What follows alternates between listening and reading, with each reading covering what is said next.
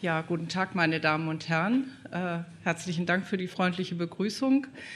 Ähm, es ist meine erste Präsentation, die ich in meiner neuen Funktion als Geschäftsführerin des Zentrums für Kinderschutz im Internet äh, vortrage. Ich durfte schon letzte Woche mit Joachim von Gottberg beim Präventionstag diskutieren, aber so eine Präsentation ist ja doch immer ein bisschen was anderes. Und jetzt noch mit dem Jugendschutzthema zu kommen, nachdem wir hier zwei jugendliche, junge Mädchen hatten, die ja offensichtlich sehr gut auch mit den Angeboten umgehen können und äh, fällt es immer ein bisschen schwer, sich dann wieder auf das Thema äh, Schutz einzulassen. Ich will mal versuchen, es trotzdem äh, interessant zu gestalten. Allerdings weiß ich noch nicht, wo ich klicken kann. Kann mir jemand mal, gibt es irgendwo ein... Ah, hier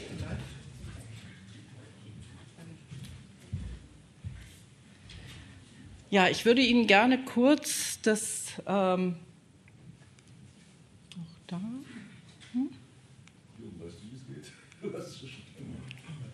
Klicken geht im Moment hier noch nicht.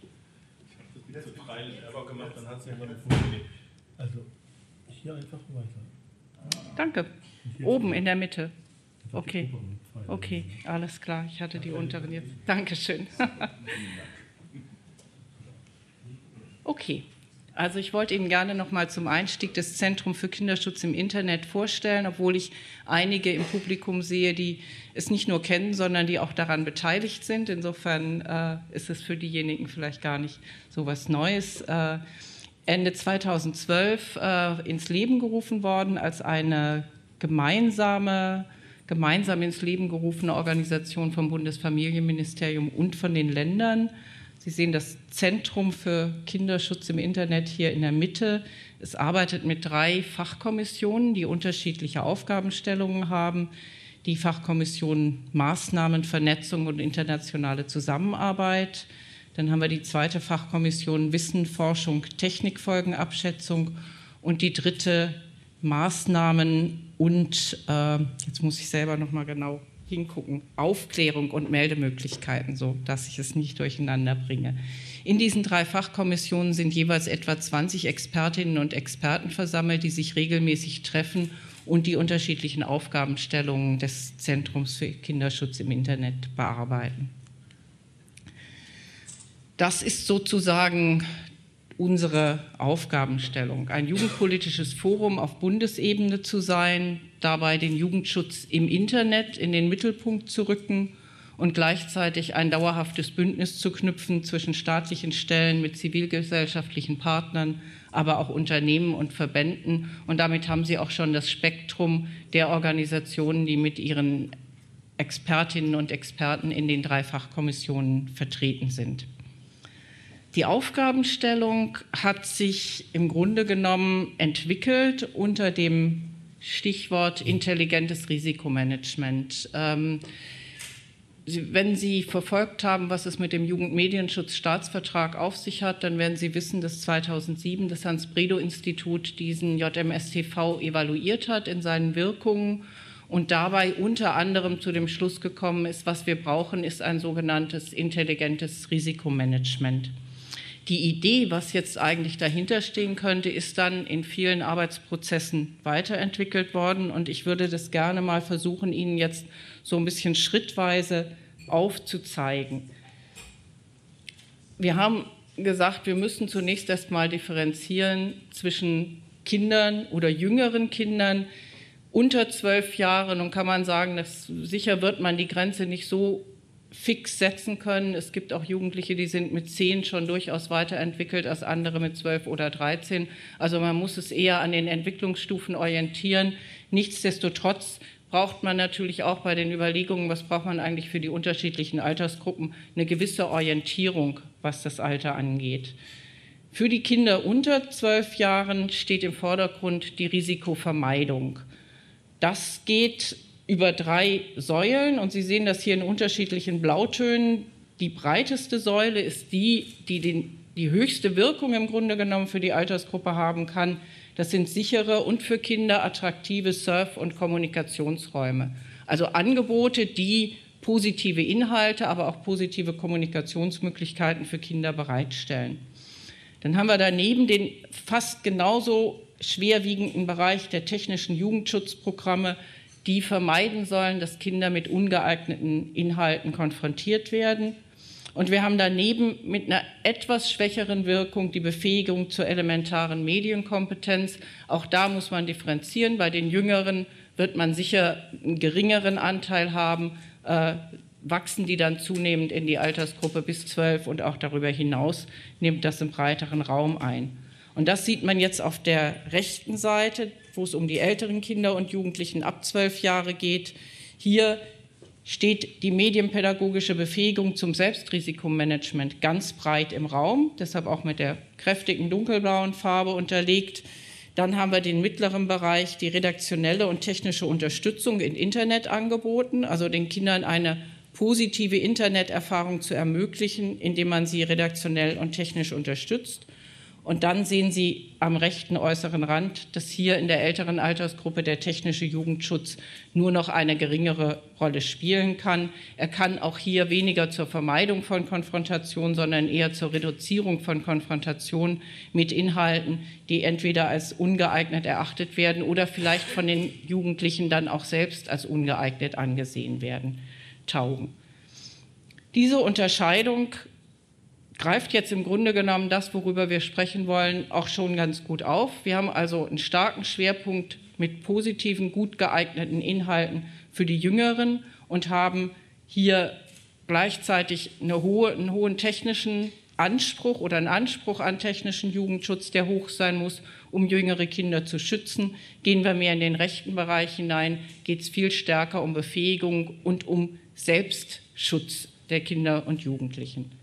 Das Ganze wird dann gerahmt durch das ganze Spektrum der Akteure, die hier verantwortlich handeln können, äh, darüber die Instanzen, die entsprechend äh, mitwirken müssen, der Staat, der rechtlich regulieren kann, aber auf der anderen Seite auch die Community der Internetnutzerinnen und Nutzer selber, die zum Beispiel, was wir gerade im Jugendbereich eben erleben, mit, einer, mit der Peer-Unterstützung, Peer-Beratung von Kindern, von Jugendlichen äh, eine wichtige Rolle spielen kann, aber auch dazu beitragen kann, dass Inhalte bewertet werden, getaggt werden oder ähnliches, um das positive Surferlebnis zu ermöglichen.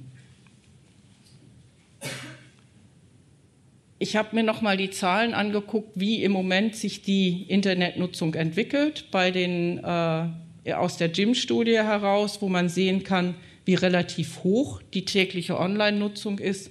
Und wenn man hier nochmal guckt, wir wollen ja über mobile Internetnutzung bzw. Schutz im mobilen Bereich sprechen, dann sehen Sie mit der, also im zweiten Block Handy, Smartphone, äh, wie stark von 2011 mit 29 Prozent auf 2013 mit 73 Prozent die mobile äh, Internetnutzung gestiegen ist.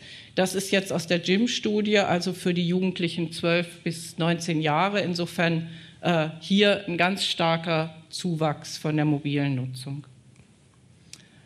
Ähm, bei den jüngeren Kindern, also aus der KIM-Studie, äh, sieht es anders aus. Da haben wir bisher noch keine so deutlichen Zahlen für die mobile Nutzung. Wir haben hier äh, allerdings auch da deutlich zu sehen, dass mit zunehmendem Alter die Internetnutzung insgesamt deutlich steigt. Bei den äh, sechs- bis siebenjährigen sind es nur sieben Prozent, die sagen jeden oder fast jeden Tag. Bei den zwölf- bis dreizehnjährigen haben wir dann schon 58 Prozent, die jeden oder fast jeden Tag äh, online gehen. Ähm, auch hier wurden die Kinder dann in der KIM-Studie nach ihren Handyfunktionen gefragt und da ist nochmal mal relativ weit unten angesiedelt. Äh, Internet nutzen ist, ich weiß nicht, wie gut Sie es erkennen können, die vierte Zeile von unten. Zehn Prozent sagen, sie nutzen das Handy täglich oder fast jeden Tag, äh, um damit ins Internet zu gehen. 15 Prozent sagen ein oder mehrmals die Woche. Aber bei der jüngeren Altersgruppe sind es auch sehr viele, die nie mit dem Handy ins Netz gehen. Jetzt muss man dazu sagen, das ist die Kim aus 2012 und wenn man sich so die Entwicklung in der Gym, wo es ja schon bis 2013 geht, anschaut, dann denke ich, dass diese Zahlen heute so nicht mehr zutreffend sind, sondern dass wir auch bei den Jüngeren eine deutlich häufigere Handynutzung äh, für die Internetnutzung haben. Dann gibt es noch die Mini-Kim-Studie.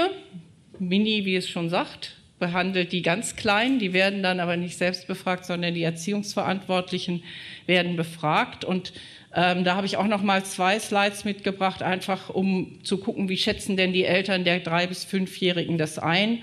Und äh, Sie sehen es ganz oben, 51 Prozent äh, stimmen voll und ganz zu, zu der Aussage, das Internet ist für Kinder gefährlich.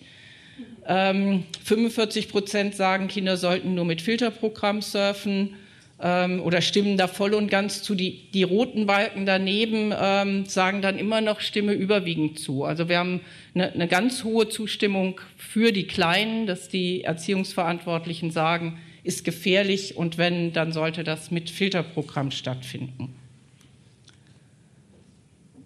Auf der anderen Seite sind die Eltern dann aber auch direkt gefragt worden, äh, was sie denn von Filterprogrammen halten.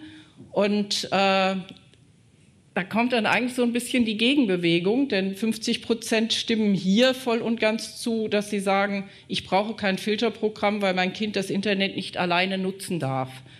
Ähm, 20 Prozent sagen, ich kenne keine Filterprogramme äh, und es ist immer noch auch äh, ein nennenswerter Teil, die sagen, sie wissen nicht, wo sie sich über Filterprogramme informieren kann, äh, können oder die besorgt, besorgt sind, dass sie dann selber nicht mehr äh, entsprechend das Internet nutzen können, weil es ihre eigene Nutzung zu sehr einschränkt ich finde eigentlich bei den, bei den unteren Zeilen sieht man dann sehr schön, dass es doch eher eine große Ratlosigkeit ist bei den Eltern. Also äh, die grauen äh, Bereiche am Ende, das sind die, die weiß nicht, keine Angabe gemacht haben. Und das ist doch ein relativ großer Anteil von Eltern, die im Grunde genommen mit, mit einem Fragezeichen im Gesicht vor der Frage stehen, äh, Filterprogramme ja oder nein und was können die denn eigentlich? Das habe ich im Oktober 2013 in der New York Times gefunden. Uh, Never Too Young, Mobile Screens Make Their Way into Smaller Hands. Ähm, die haben eine Studie gehabt, äh, die gesagt hat, 38 Prozent der US-amerikanischen Kinder äh, im Alter von unter zwei Jahren nutzen äh, Smartphones oder Tablet-PCs. Es hat ungefähr zu der gleichen Zeit auch aus Österreich eine Studie gegeben, die ähnlich hohe Zahlen äh, ähm, konstatiert hat. Äh, hier ist mit Eltern gesprochen worden und die Aussagen sind schon so, dass man sie auch sehr, sehr nachvollziehbar finden kann. Äh, da sagt eine Mutter von einer unter Einjährigen, wenn ich meiner Tochter das Smartphone oder Tablet in die Hand gebe, ist es eine Stunde lang mindestens beschäftigt. Also, und ich glaube, es ist schon auch so, dass man das im Alltag beobachten kann. Make their way in smaller hands. Das ist tatsächlich zutreffend. Es haben einfach mehr Kinder äh, Smartphones oder Tablets in der Hand. Es ist nicht immer gesagt, dass die Geräte tatsächlich mit Internetzugang ausgestattet sind. Also insofern muss man auch da noch mal gucken, was eigentlich für eine Nutzung stattfindet. Aber mit der weiten Verbreitung, hier ist von 40 Prozent der Haushalte in den USA die Rede, in denen Tablets zur Verfügung stehen und gleichzeitig mit dem relativ schnell gesunkenen Preisniveau ist es nachvollziehbar zunächst erstmal, dass Kinder jetzt die Geräte in der Hand haben. Und im Grunde genommen müssen wir da dann überlegen, ist dann technischer Jugendschutz tatsächlich auf den Geräten möglich? Ich hatte es eingangs ja gesagt, es ist meine erste Präsentation als Geschäftsführerin des eKids und ich greife jetzt äh, noch ein bisschen auf meine Tätigkeit äh, bei der Stiftung Digitale Chancen zuvor zurück, wo wir seit mehreren Jahren das Projekt SIP Benchmark für die Europäische Kommission durchführen und uns Jugendschutzprogramme angucken in mehrerlei Hinsicht. Äh, zum einen wird die Effektivität dieser Programme im Hinblick auf die unterschiedlichen Inhalte getestet. Das machen unsere Kollegen in Italien. Ähm, unsere Aufgabe ist, uns das Funktionalitätsspektrum der Produkte anzugucken und die Usability zu bewerten. Da steht die Überlegung dahinter, dass ein Produkt eigentlich nur dann wirklich seine Wirksamkeit richtig gut entfalten kann, wenn es von Eltern auch genutzt und bedient werden kann. Sprich, wenn das Produkt schwierig zu installieren ist, die Konfiguration schwierig ist, das Einrichten der Profile schwierig ist, dann kann es durchaus sein, dass die Eltern das Produkt auf dem Endgerät haben, aber möglicherweise dann die Wirkung eben doch nicht entfaltet werden kann, schlicht weil man bei den Alterseinstellungen vielleicht was falsch gemacht hat oder ähnliches. Also die Nutzbarkeit, die Gebrauchstauglichkeit sollte nach Möglichkeit hoch sein. Das kann man nicht immer sagen, je einfacher, desto besser, weil meistens geht mit einer einfacheren Installation und Konfiguration auch ein geringerer Funktionsumfang einher. Und ich würde Ihnen jetzt gerne noch mal einfach vorstellen, was wir uns bei der Prüfung auf Funktionen äh, tatsächlich angucken, damit Sie auch so einen Eindruck kriegen, was können denn Funktionen von einem Jugendschutzprogramm überhaupt sein? Denn meistens denkt man bei Jugendschutzprogrammen an, das, an den klassischen Filterbegriff und tatsächlich sind eben Jugendschutzprogramme eigentlich viel mehr, können auch viel mehr.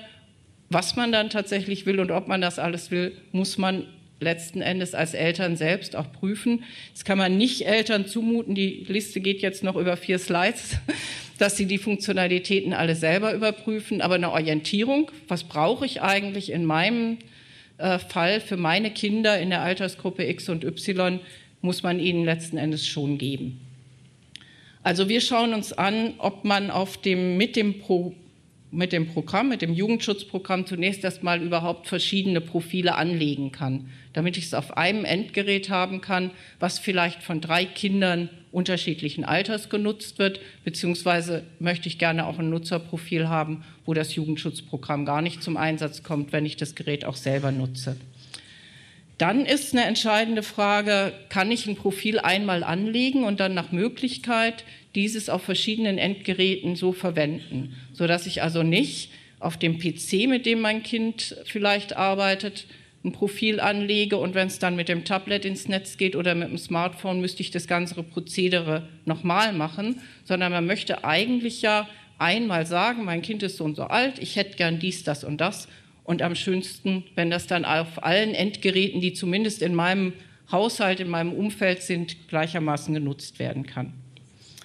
Dann ist eine Frage, kann ich das nur auf dem Gerät, auf dem ich es installiere, äh, konfigurieren und einstellen oder kann ich das auch über ein zweites Gerät tun? Ganz kritische Frage, wenn es um das Handy oder Smartphone der Kinder geht, wenn die Eltern sozusagen einmal täglich sagen, gib mal dein Handy, ich will mal kontrollieren, was du gemacht hast, ist das sicher nicht einfach. Genauso ist aber abzuwägen, ob es tatsächlich okay ist, wenn man sagt, ich gucke mal an meinem PC in aller Ruhe, was das Kind da auf seinem Smartphone gemacht hat. Wenn ich nicht mit dem Kind darüber gesprochen habe, würde ich das zumindest für fragwürdig halten, ob das in Ordnung ist. Wichtig natürlich die Filterfunktionalität. Das heißt, es wird nachgeschaut, in welcher Weise wird denn gefiltert? Äh, kann ich verschiedene Filterthemenbereiche einstellen? Gibt es eine Whitelist von URLs oder eine Blacklist von URLs? Auch hier ist dann die Frage, ähm, kann ich jetzt das Surfen nur auf die Inhalte der Whitelist einschränken? Kann ich darüber hinaus weitere Prozesse anstoßen? Kann ich die Whitelist bearbeiten, eigene Einträge machen, Sachen freischalten und ähnliches? Gleiches gilt für die Blacklist. Und äh, es wird auch geschaut, ob eine Wortfilterung in Ergänzung zur, zur URL-Filterung stattfindet, nur eine Wortfilterung, beides äh, kombiniert. Und auch da geht es wieder darum, ist eine Liste vorhanden, welche Begriffe sind drauf, kann ich die Liste erweitern oder selber eine Liste anlegen. Ähm, ein Bereich, der, den viele der Jugendschutzprogramme äh, mit umfassen, ist äh, alles, was um Nutzungszeit geht.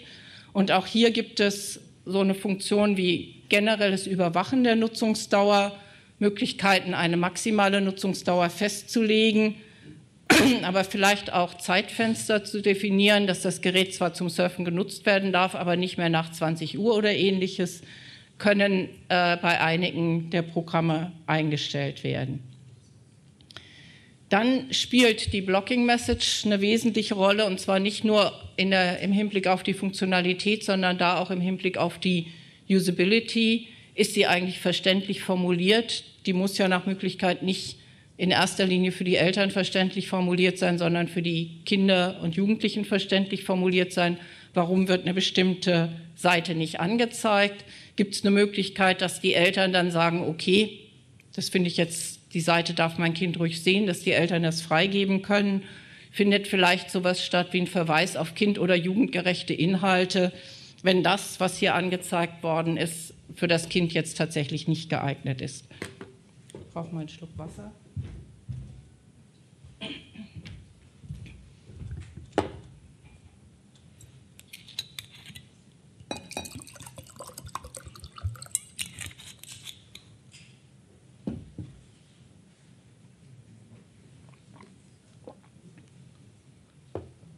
So, dann kommt noch der Bereich der Nutzungsbeschränkungen, wo auch da eben einige Produkte den Zugang zum Internet generell blockieren, ähm, andere ein Monitoring, also eine Überwachung, was wird, wann wird ins Internet gegangen, was wird da gemacht, äh, anbieten, ist sichere Suche, äh, Safe Search Modus einstellbar oder nicht, kann man den Zugang zu Social Networks blockieren oder den Zugang zu Social Networks überwachen. Wir haben eigentlich bisher kein Produkt gefunden, was äh, differenziert mit der Preisgabe persönlicher Daten umgehen könnte.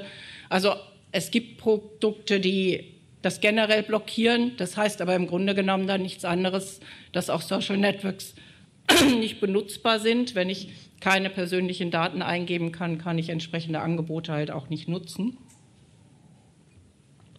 Streaming, Peer-to-Peer, -Peer, Skype, äh, all das kann von den Produkten kontrolliert werden, blockiert werden oder eben überwacht werden. Ähm, und auch bei der E-Mail geht es darum, wird eventuell der E-Mail-Client blockiert oder wird äh, der Zugriff auf äh, Webmail blockiert. Das läuft dann meistens wieder darüber, dass der Webmail Access einfach auf die Blacklist gesetzt wird, wenn diese bearbeitbar ist. Also diese lange Liste zeigt sozusagen an, was generell ein Jugendschutzprogramm tun könnte, im Leistungsumfang haben könnte, aber die einzelnen Produkte unterscheiden sich sehr darin und letzten Endes sind natürlich auch die Bedarfe von Eltern beziehungsweise auch die ihrer Kinder sehr unterschiedlich. In den, äh, in den Ergebnissen habe ich nur mal, was Funktionalität angeht, ganz kurz zusammengefasst. Es ist eigentlich in allen Produkten, die wir bisher getestet haben, sind die Filtereinstellungen anpassbar. Das heißt, Eltern können die Keywords, können die URL Black and White Listen, können äh, bearbeiten, können Themen auswählen. Es gibt mehr Produkte, die nach Themen und nach URLs filtern als nach Schlüsselbegriffen. Das äh, sind weniger Produkte. Es ist eigentlich üblich, verschiedene Nutzerprofile anzulegen, aber es gibt tatsächlich auch Produkte, bei denen man das nicht tun kann. Das heißt, im Grunde genommen habe ich dann ein Produkt, ein Nutzerprofil und kann das Gerät eben nicht von zwei oder drei Kindern unterschiedlichen Alters äh, entsprechend nutzen lassen, weil ich immer nur das eine Profil drauf habe. Und man muss auch bei den verschiedenen Nutzerprofilen ein bisschen genauer reinschauen, damit man tatsächlich hinter einer unterschiedlichen Altersdifferenzierung dann auch äh, unterschiedliche Filterergebnisse letzten Endes hat. Dass man also nicht nur quasi bei der Konfiguration das Alter entsprechend einstellt, sondern dass es auch äh, im, vom Programm entsprechend wiedergespiegelt wird in den Ergebnissen. Bei einigen Produkten ist es so, dass man äh, den Webzugang nicht blockieren kann. Da gibt es dann so, äh, werden immer kreative Lösungen gesucht. Da wird dann zum Beispiel vorgeschlagen, dass man ja eine Zeitlimitierung einsetzen kann. Zeitlimitierung ist eigentlich bei vielen Produkten. So, dann stelle ich einfach ein, dass null Stunden am Tag quasi das Web genutzt werden kann und habe damit gleichzeitig eine Blockierung des Webzugangs. Ähm, was ein Problem ist, wo, wo viele Produkte Schwierigkeiten haben, ist, ist dass man, äh, wenn der Zugang blockiert ist zu einem bestimmten Inhalt in deutscher Sprache, kann ich über eine Translation Site gehen und komme dann letzten Endes doch an den gleichen Inhalt. Da ist so ein, also muss man schon noch mal ein bisschen kritischer hingucken. Und äh, was auch also eigentlich ein No-Go ist, dass man das Produkt wieder ohne Passwort deinstallieren kann, weil da muss man jetzt gar nicht mehr über die Altersgruppen groß diskutieren. Das können Zehnjährige, auch Achtjährige vielfach schon äh, eine Software deinstallieren. Insofern ähm, ist das also auf jeden Fall ein kritischer Punkt. Ähm, die meisten Produkte für mobile Endgeräte haben einen geringeren Funktionalitätsumfall als Umfang als, als die Produkte, die für einen PC gemacht sind. Also man darf bei den Mobilprodukten nicht das volle Leistungsspektrum erwarten. Aber da komme ich später noch zu. Vielleicht muss man tatsächlich bei, bei mobilen Endgeräten auch auf eine Kombination von verschiedenen Möglichkeiten setzen und sich sehr genau am Nutzungsverhalten orientieren. Es gibt leider bisher nur wenige Produkte, die tatsächlich auf dem stationären und mobilen Endgerät parallel genutzt werden können. Ähm, das denke ich, ist auf jeden Fall äh, ein Anspruch von Eltern, dass man eben nicht sich auf unterschiedliche Produkte für unterschiedliche Endgeräte äh, verständigen muss.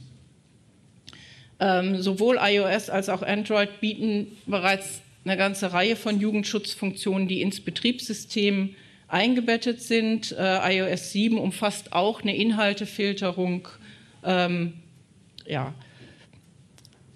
Blockieren von Anwendungen wie zum Beispiel Skype oder andere Messenger ähm, ist nur bei sehr wenigen Produkten für mobile Endgeräte möglich.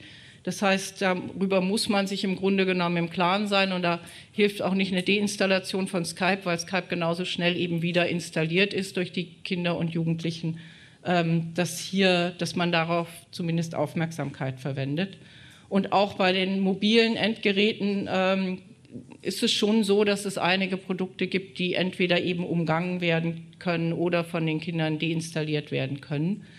Ähm, Fazit eigentlich daraus, man darf nicht glauben, dass man das Problem durch Jugendschutzprogramme, durch technische Jugendschutzprogramme tatsächlich lösen kann. Fazit aber auch, sie können ganz wesentlichen Baustein darin, darin bilden äh, im Jugendschutz. Und so, wie ich es vorhin auf der, auf der Eingangsslide gezeigt habe, muss man halt schauen, dass dieser Baustein, wenn es um die jüngeren Kinder geht, deutlich größer sein muss und auch eine bessere Wirkung entfalten kann. Wenn es um die Älteren geht, muss man sich damit vertraut machen, dass sowohl dadurch, dass die Älteren pfiffiger darin sind, das Produkt zu umgehen, ähm, als auch äh, darin, dass möglicherweise für Ältere das Filtern von Inhalten eben in dem Maße einfach nicht mehr angemessen ist. Ähm, damit muss man sich einfach auseinandersetzen, wenn man über ein Produkt nachdenkt. Ich habe jetzt noch mal versucht, ein paar Produkttypen einfach äh, vorzustellen, die äh, Ihnen teilweise ja auch bekannt sind, einfach weil diejenigen, die auch daran mitgearbeitet haben, auch hier im Raum sind. Also Surfgarten äh, als eine App für ein mobiles Endgerät, genau wie die FragFin-App, die beide eben einen geschützten Surfraum für Kinder ähm, bis zwölf Jahre, gut, vielleicht auch ein bisschen äh, jünger oder ein bisschen drüber hinaus ermöglichen können.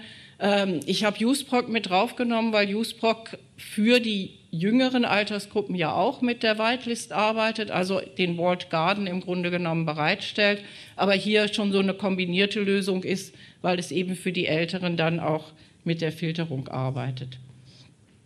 Dann gibt es Produkte wie die Child Protect App von Vodafone, die nur für mobiles Endgerät entwickelt worden ist und wo man hier so ein paar der Funktionalitäten schon gleich äh, auf dem Screenshot eben auch mit sehen kann.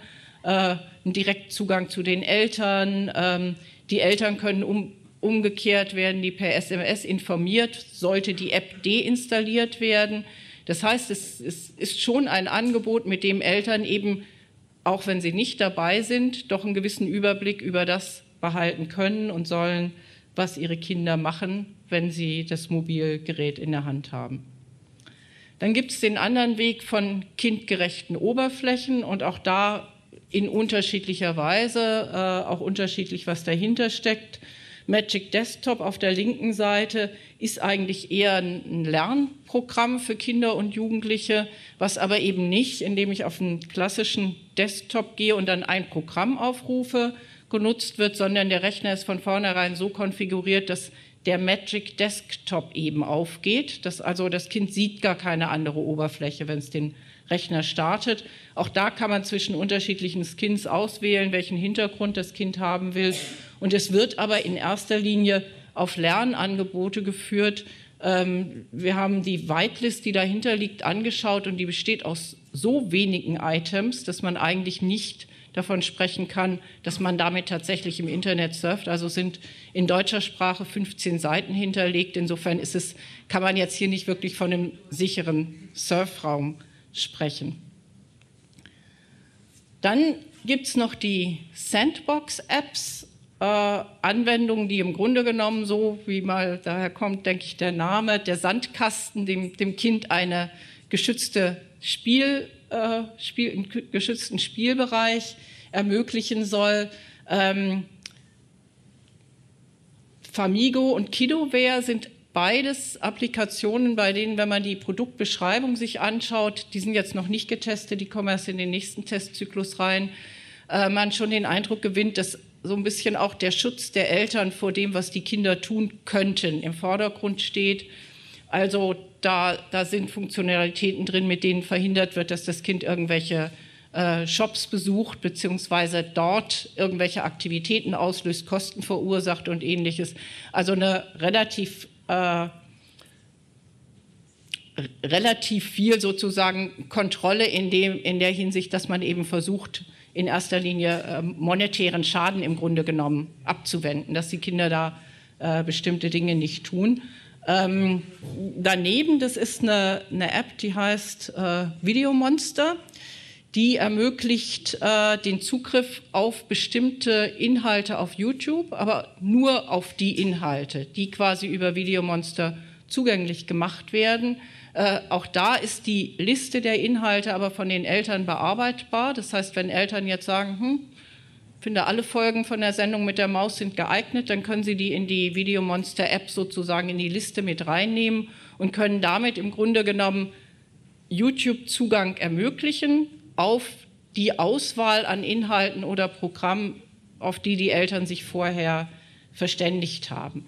Ähm, Voraussetzung ist natürlich, dass man nicht gleichzeitig einen anderen Browser auf dem digitalen Endgerät drauf hat, mit dem das Kind dann ganz regulär ins Internet gehen kann und, und YouTube aufrufen kann.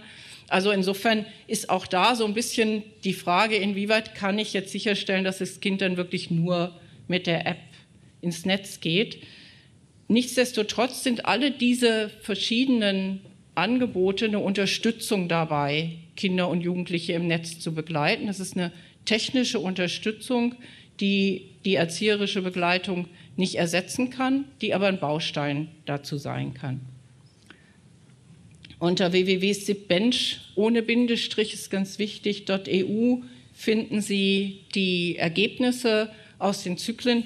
Das ist so aufgebaut, dass Eltern tatsächlich auch schauen können, so mein Kind ist so und so alt und ich hätte gern ein Gerät, was auf diesem Betriebssystem und diesen zwei Endgeräten läuft und dann kriegt man die Auswahl der Produkte, kann sich dann auch über diesen Funktionalitätsumfang, den ich vorhin äh, vorgestellt habe, nochmal entsprechend informieren und sich raussuchen, was passt denn tatsächlich in mein eigenes Medienerziehungskonzept.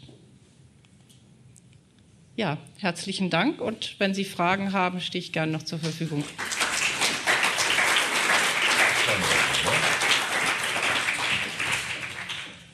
Tja, das war eigentlich ganz interessant, weil man hat ja immer so rudimentäre Vorstellungen, wie so ein Jugendschutzprogramm äh, funktioniert oder funktionieren könnte oder funktionieren sollte. Ich finde das mal ganz interessant, das alles so kompakt äh, zusammen zu haben.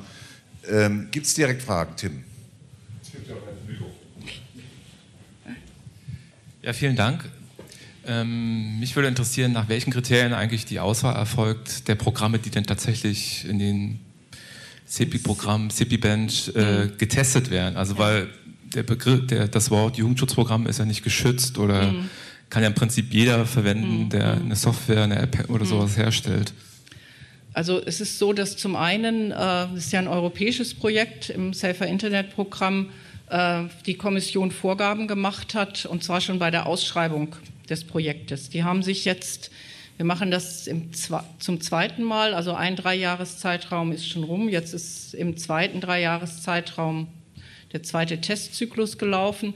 Zwischen den beiden Ausschreibungen hat es eine deutliche Veränderung gegeben, ähm, dass mehr mobile, also Produkte für mobile Endgeräte zu berücksichtigen sind in den Zyklen und äh, zum Zweiten, dass sogenannte Alternative Tools oder Alternative Approaches mit berücksichtigt werden. Das heißt, sowas wie Magic Desktop, wie eine App, wie diese Sandbox-Apps oder ähnliches, die sind jetzt im Rahmen äh, des Testens der alternativen Vorgehensweisen beim Jugendschutz quasi mit zu berücksichtigen. Die haben im ersten äh, SIP-Bench keine Rolle gespielt.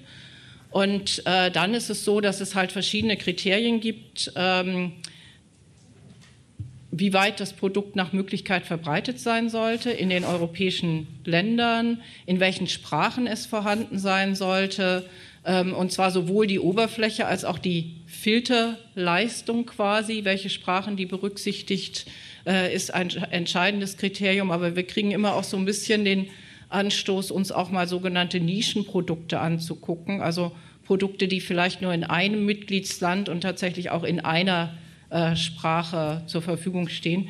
Jetzt muss man noch dazu sagen, es gibt pro Testzyklus sind es jetzt 25 Produkte und es wird ganz großer Wert von der Kommission darauf gelegt, dass man die über einen längeren Zeitraum anguckt. Das heißt also, wir haben nicht die Möglichkeit, alle halbe Jahr 25 neue Produkte zu testen, sondern es bleiben 15 bis 20 Produkte immer gleich, damit man sehen kann, ob die sich im Laufe der Zeit äh, verändern, ob die entweder besser werden, weil weiterentwickelt oder vielleicht auch schlechter werden, weil die Fülle an äh, Inhalt, an Content sich einfach verändert hat.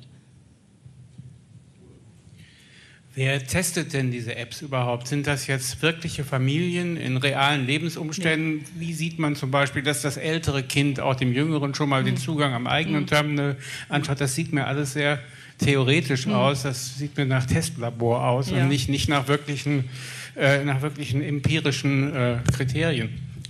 Also das ist tatsächlich so, dass es Testlabor ist. Das muss es aber auch sein, um valide Ergebnisse erzeugen zu können, mit denen man die Produkte vergleichen kann. Wir haben im SIP-Bench äh, in dem ersten, was wir durchgeführt haben, äh, auch sogenannte Nutzertests gehabt, haben also den den Expertentests, Nutzertests noch zur Seite gestellt quasi. Und es ist ein enorm großes Problem, Eltern zu finden, die bereit sind, Produkte zu testen, die in der Lage dazu sind, weil ich natürlich genau das, was ich vorhin bei der Gebrauchstauglichkeit gesagt habe, dann auch habe. Ähm, jemand, der besonders computererfahren ist, der installiert das ruckzuck und hat prima Testergebnisse und ein anderer, der quasi selber eigentlich gar nicht richtig damit umgehen kann, der kriegt schlechtere Testergebnisse. Das heißt, wenn ich also die Testergebnisse vergleichen will, brauche ich auf jeden Fall diese Labortests. Wir, wir, haben dann die, die Nutzer, die bei den Tests mitgemacht haben, gefragt, sie sollen ihre eigene Computer Literacy quasi einschätzen, sagen, ich kenne mich ganz gut aus oder weniger gut aus. Kommt natürlich auch nochmal das Sprachenproblem dazu. Dieses eine Nischenprodukt war ein polnisches Produkt mit dem schönen bezeichneten Namen Sensor. Das stand auch nur in Polnisch zur Verfügung. Und also das ist nicht so einfach, Eltern zu finden, die bereit sind, sowas zu testen und die dann auch noch eben tatsächlich neutrale Testergebnisse liefern können.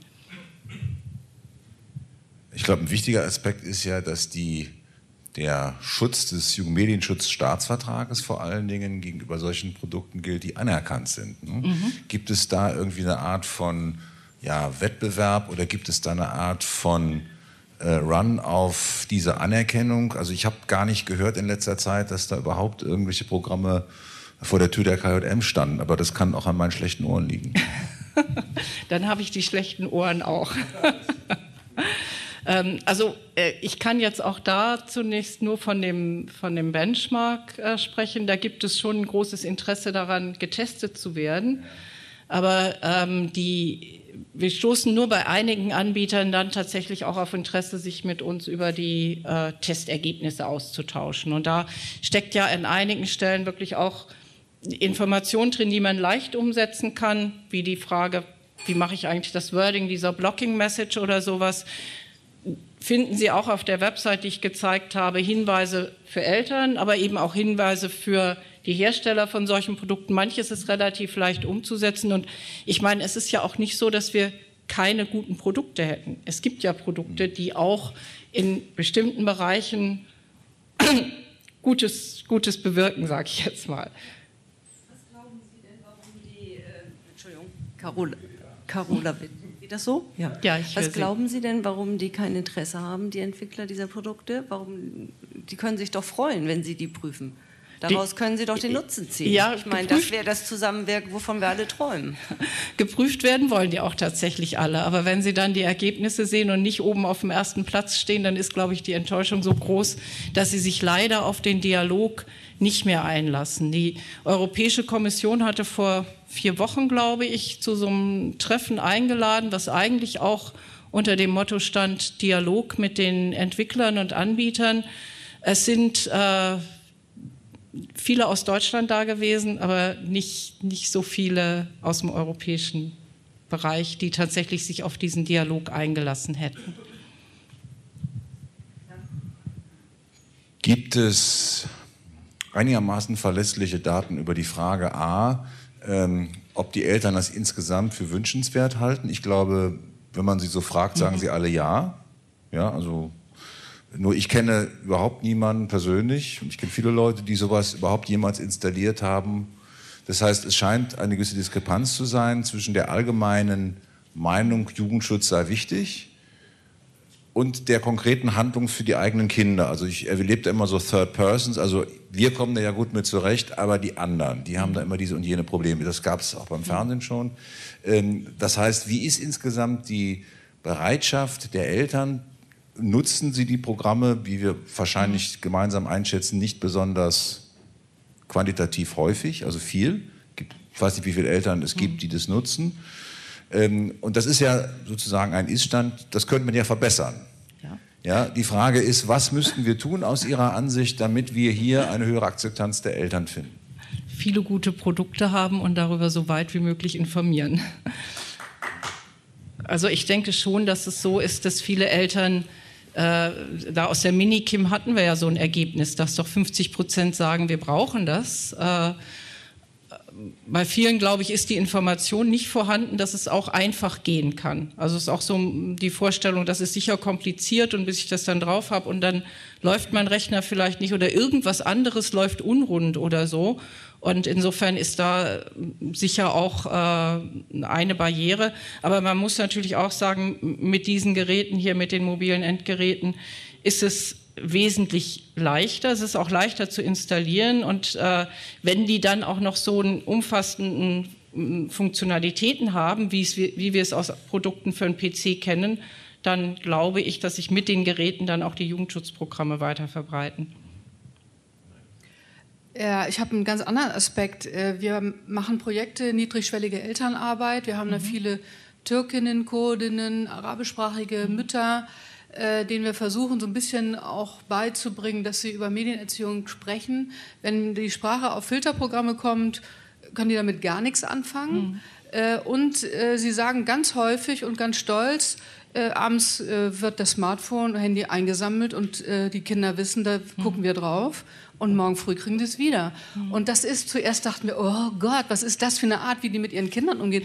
Aber mittlerweile sage ich, es ist adäquat. Und mhm. wenn das funktioniert, äh, finde ich das gar nicht so schlecht. Am Anfang sträubten sich die jugendschützerischen mhm. Haare.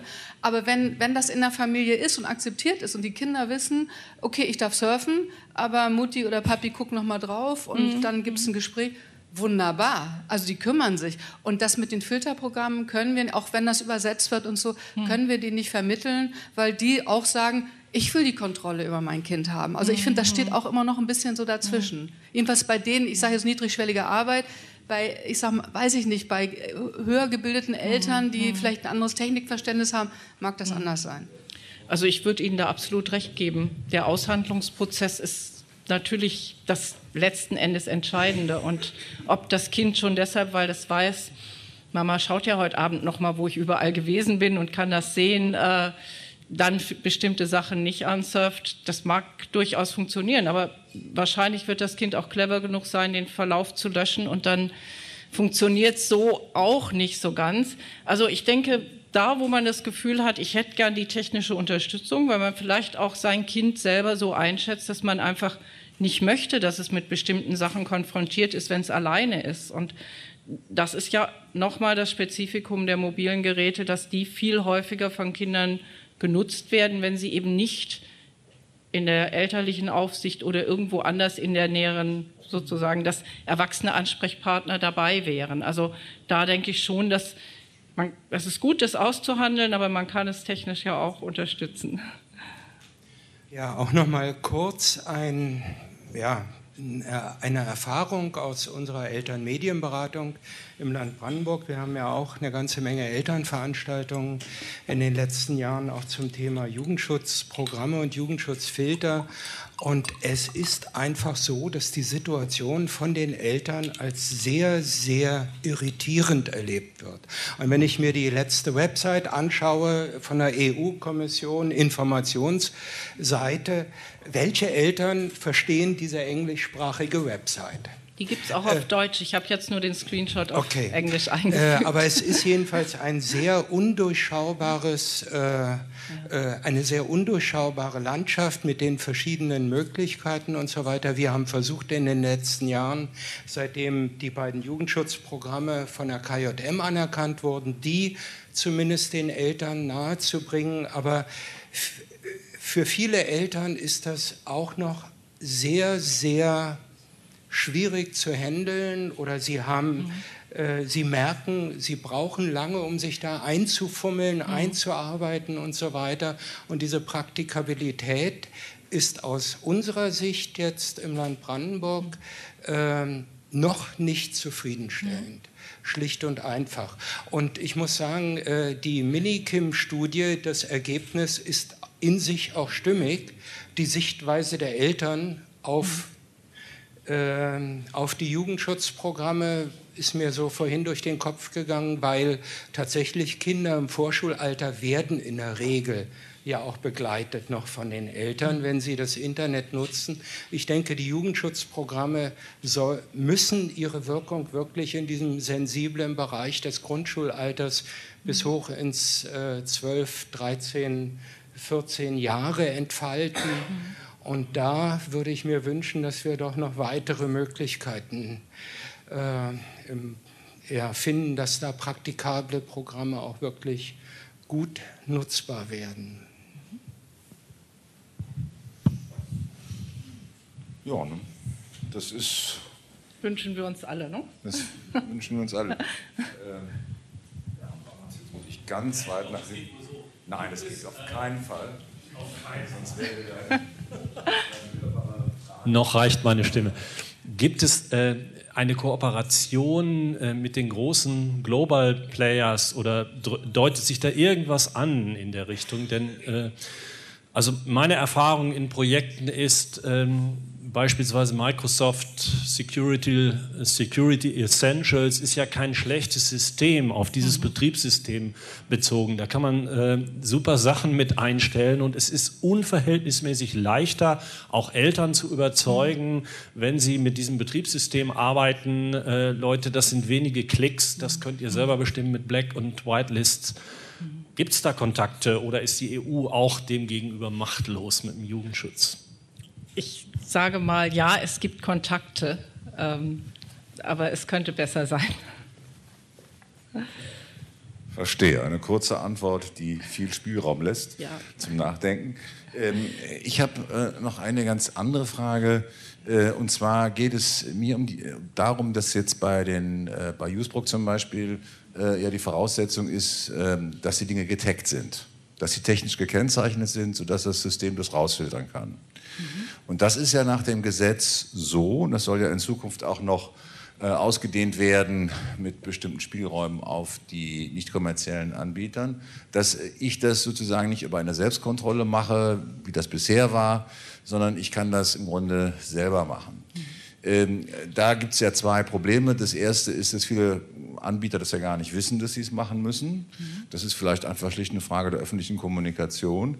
Ähm, aber so ein kleines bisschen, obwohl ich das System richtig finde, weil es wahrscheinlich gar nicht anders geht, hat man doch so ein bisschen Bauchschmerzen, wenn man überlegt, wie man beispielsweise eine FSF sich unglaubliche Gedanken macht über die Frage, geht das jetzt ab 12 oder ab 16 oder ab so und so viel Uhr oder ab so und so viel Uhr.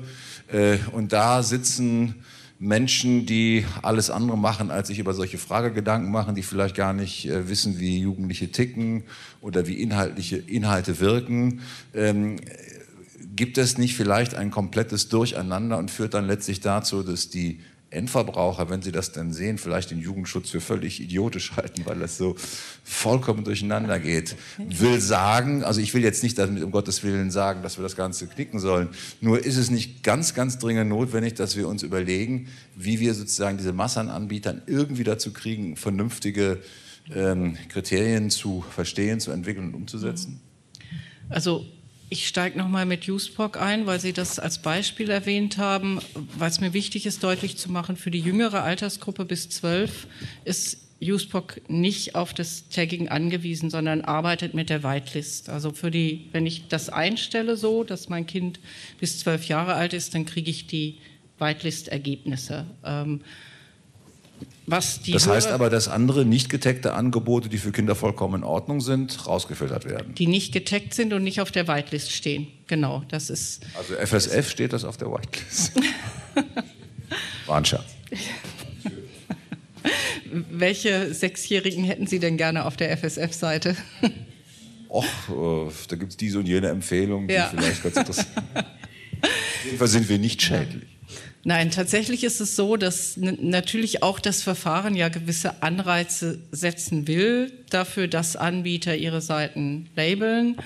Auf der anderen Seite äh, ist auch kein Geheimnis, dass noch sehr, sehr wenig Seiten tatsächlich gelabelt sind. Also da, das kann man jetzt auch nicht irgendwie beschönigen oder so.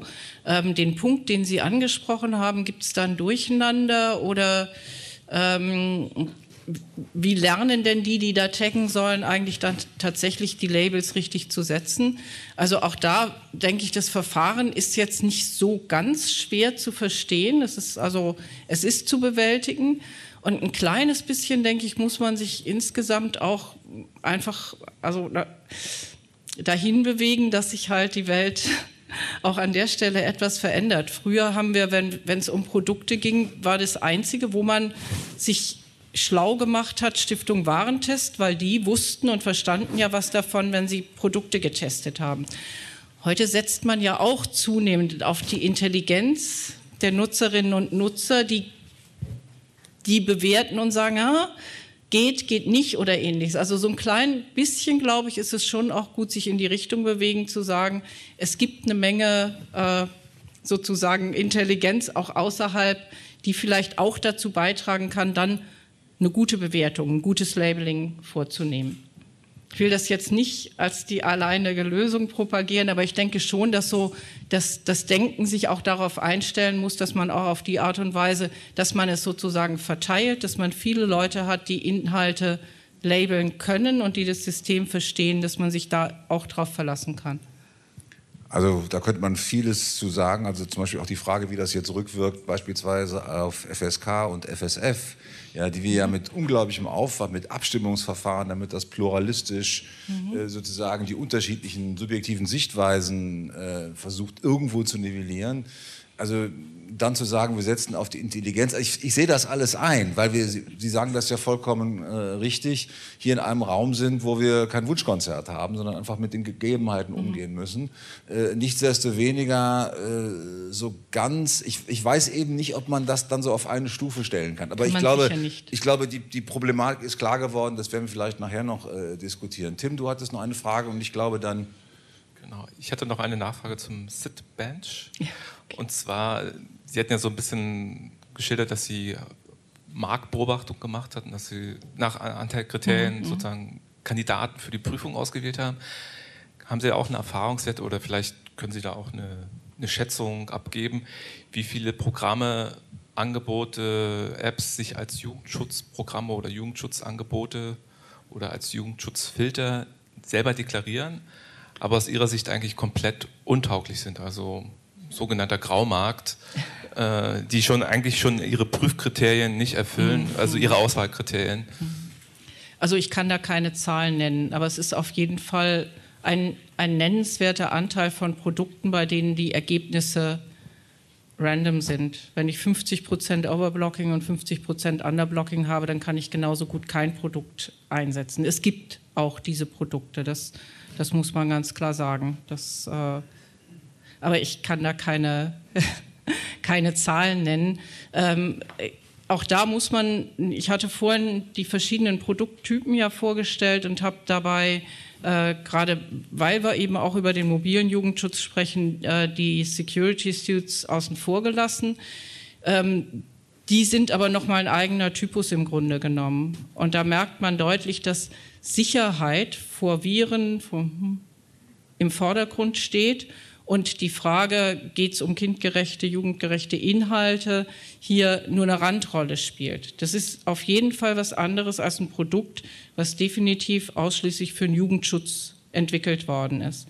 Also da gibt es deutliche Unterschiede, wobei ich auch nicht sagen würde, wenn Sie die Testergebnisse sich anschauen, es gibt auch diese allumfassenden, die auch gute Ergebnisse erzielen können. Man muss jeweils für den eigenen Bedarf schauen, was man tatsächlich haben will.